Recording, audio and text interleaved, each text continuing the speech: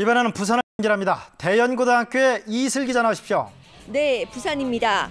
네, 그쪽 분위기는 어떻습니까? 네, 이제 7시를 넘어서면서 많은 수험생들이 고사장으로 속속 도착하고 있습니다. 학교 앞에서는 갖가지 구호를 외치는 후배들의 뜨거운 응원전이 펼쳐지고 있는데요.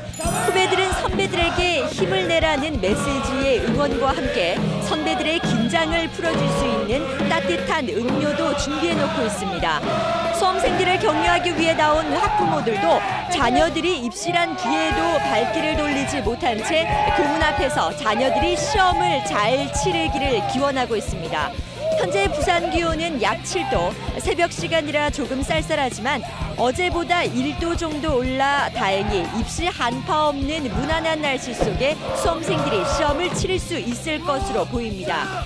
부산에서는 67개 시험장, 1,665개 시험실에서 모두 44,586명이 응시해 그동안 갈고 닦아왔던 실력을 평가받습니다. 시험은 8시 40분부터 1교시 언어 영역을 시작으로 오후 5시 6분 탐구 영역을 마지막으로 치르고 제2 외국어나 한문을 치르는 수험생들은 오후 6시 15분에 시험을 마칩니다.